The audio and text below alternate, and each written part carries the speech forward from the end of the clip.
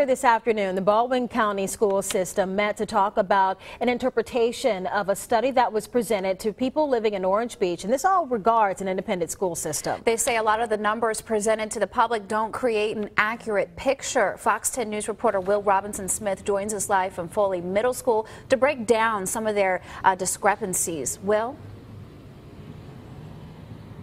Well, like you guys said, the superintendent, Dr. Alan Lee, and the school board took a look at Dr. Ira Harvey's study, and bottom line for them is that a lot of this is just plain wrong.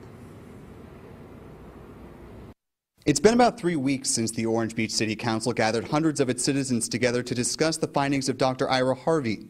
The study was designed to be a potential roadmap to an independent Orange Beach school system. Today, the Baldwin County Public School System said the study is misleading. The rev revenue projections are based on aggressive and unsubstantiated assumptions in direct conflict with federal, state, and local education funding laws. One of the discrepancies they point to is student population and how that would impact funding. The study uses homeschool students and some living beyond city limits in its analysis.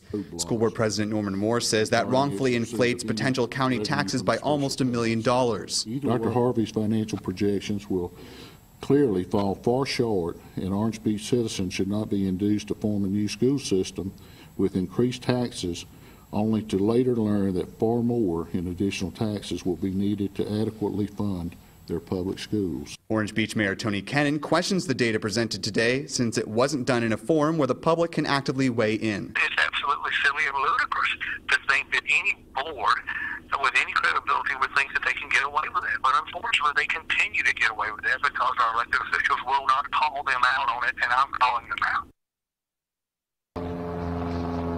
Yeah, no, Dr. Alan Lee was asked if he and the board were going to present this presentation in a public forum setting like Mayor Tony Kennon was talking about. He said that they don't have plans for that at this point in time, but the transcript of the presentation that was done here at Foley Middle School, that's going to be on their website, and of course, we'll link to it on ours so you can read it in full, and it also has some of their uh, uh, talks with school board officials from the state level that verified some of the numbers that they have, and like I said, all of that will be on our website, fox10tv.com. For now, reporting live in Foley, I'm Will Robinson Smith for Fox 10 News. Okay, we still have Jason Smith out there.